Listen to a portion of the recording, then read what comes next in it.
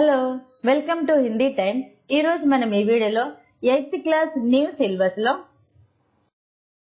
tenth lesson Madhur Vani question answers part three నేర్చుకుందాము. ఇంతకు ముందు మీకు పార్ట్ వన్ టూ పంపించాము. ఒకవేళ అది చూడకపోతే తప్పకుండా చూడండి. ప్రతి పదానికి మీకు తెలుగు మీనింగ్ అనేది ఉంటుంది. ఓకేనా? స్టార్ట్ చేద్దామా? ఫస్ట్ క్వశ్చన్ చూడండి. హమే క్యూ హస్ మిల్కర్ రహనా చాహియే? మనం చక్కగా నవ్వుతూ అందరితో కలిసి మెలిసి ఎందుకు ఉండాలి అనేది క్వశ్చన్ హమ్ అంటే హమే క్యూ? మనం ఎందుకు అందరితో చక్కగా నవ్వుతూ కలిసి మెలిసి ఉండాలి అని క్వశ్చన్ ఇస్ దునియా మే తరహా తరహాకే లోగ్ రహతే హై. ఈ ప్రపంచంలో రకరకాల ప్రజలు ఉంటున్నారు. ఇన్సే హమే కామ్ లేనా और దేనా పడతా హై. మనకు వాళ్ళతో పని పడుతుంది. మనం వాళ్ళకి సహాయం చేయొచ్చు. వాళ్ళు మనకు సహాయం చేయొచ్చు इसलिए हमें सबके साथ హస్ మిల్జుల్ కర్ రహనా చాహియే అందుకని మన అందరితో కలిసిమెలిసి ఉండాలి తెలుగులో చూడండి ఈ ప్రపంచంలో అనేక రకాలైన మనుషులు ఉంటారు వారితో మనకి అనేక పనులు ఉంటాయి కాబట్టి మనం అందరితో నవ్వుతూ కలిసిమెలిసి ఉండాలి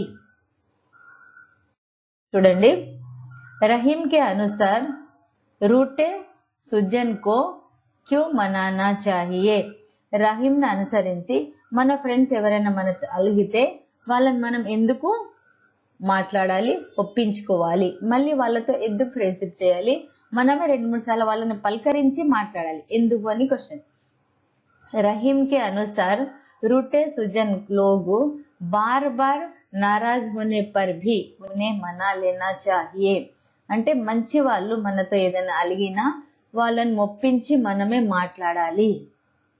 సుజన్ లోగు మోతీకే సమాన్ మూల్యవాన్ హోతే హే సుజన్ అంటే మంచి వాళ్ళు ముత్యం లాంటి వాళ్ళు. ఒకవేళ ముత్యంలో ఉన్న మాల అనేది విరిగిపోతే అది అక్కడక్కడ పడిపోతే మళ్ళీ దాన్ని మనం పుచ్చుకుంటే మాల తయారవుతుంది. దానికి విలువ ఎక్కువగా ఉంటుంది. అలాగే అలాగనే మంచి వాళ్ళు మనతో అలిగినా సరే వాళ్ళని మాట్లాడి మనం మళ్ళీ ఫ్రెండ్షిప్ చెయ్యాలి అని కవి యొక్క ముఖ్య ఉద్దేశము.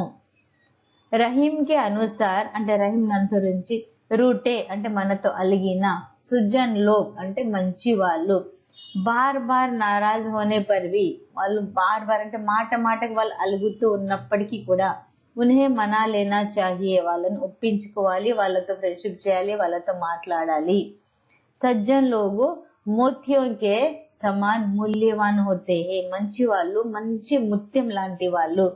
కాబట్టి వాళ్ళని మనం దూరం చేసుకోవద్దు. వాళ్ళతో ఫ్రెండ్షిప్ చేయాలి వాళ్ళతో మాట్లాడాలి. మంచి వాళ్ళతో మాత్రమే. చూడండి. రహీం మాటల ప్రకారము పదే పదే కోపం వచ్చిన ప్రజలను ఒప్పించాలి. వేరే పద పదాలలో పెద్ద మనుషులతో ముత్యాలు విలువైన వారు అంటే పెద్దవాళ్ళు ముత్యం లాంటి వాళ్ళు ముత్యాలు విలువైన వాళ్ళు అంటే మంచి వాళ్ళతో మనం ఎప్పుడు ఫ్రెండ్షిప్ చేస్తూ ఉండాలి. వాళ్ళ కోపం వచ్చిన వాళ్ళను ఒప్పించుకోవాలి అని. చూడండి. జీవన్ భర్ హమే దయాకి భావన నహి చూడని చాహియే క్యూ. మన జీవితం మొత్తం దయా భావాల్ని వదలకూడదు. ఎందుకు? దయాకి భావన సే ధర్మ ఉత్పన్న హోతా హై. మనిషిలో దయ ప్రేమ కరుణ జాలి ఇవన్నీ ఉండాలి. ఎవరి మనసులో దయ ఉంటుందో అక్కడే ధర్ము. ధర్మ అంటే మతము ఉంటుంది. మతం అంటేనే దయ దయ అంటేనే మతము. ధర్మ అంటే ఇక్కడ మతము. హర్ మనుషుకు ధర్మయుక్త జీవన్ బితానా చాయే. ప్రతి మనిషి దయ ప్రేమ కరుణ జాలితో కలిగిన జీవితాన్ని మాత్రమే గడపాలి. ఇస్లే మనుషు శరీర్ జబ్ తక్ ప్రాణ హై. అందుకని మనిషి శరీరంలో ఎప్పటి వరకు ప్రాణం అయితే ఉందో తబ్ తక్ దయాకి భావన నహి చూడని చాయే మనలో ప్రాణం ఉన్నంత వరకు దయా భావనాన్ని మనము వదలకూడదు. అంటే మనం ఎప్పుడు కానీ దయ కలిగి ఉండాలి. మళ్ళీ చూడండి.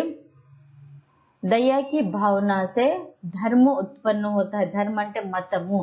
అంటే దయ అంటేనే మతం మతం అంటేనే దయ. దయాకి భావన సే మ- ధర్మ ఉత్పన్న హోతా హై हर मनुष्य को धर्मयुक्त जीवन बिताना चाहिए इसलिए मनुष्य के शरीर में जब तक प्राण है तब तक దయా కి భావన నహి చూడనా చాయి అంటే దయ ప్రేమ కరుణ జాలి అనేది వదలకూడదు జీవితం మొత్తం దాన్ని మనము పాటించాలి ఈ దయా కరుణ ప్రేమ జాలి అంటేనే మతము మతం అంటేనే ఇవన్నీ గుణాలని రహీం చెప్తున్నాడు. నెక్స్ట్ చూడండి. కరుణ అనే భావన నుండి మతం పుడుతుంది. చూసారా? మతం అంటే కరుణ జాలి ప్రేమ. దాన్ని మతం అంటారు. ప్రతి మనిషి ధర్మబద్ధంగా జీవించాలి. అందుచేత మనిషి శరీరంలో ప్రాణం ఉన్నంత కాలము కరుణమయ భావాన్ని వదలకూడదు.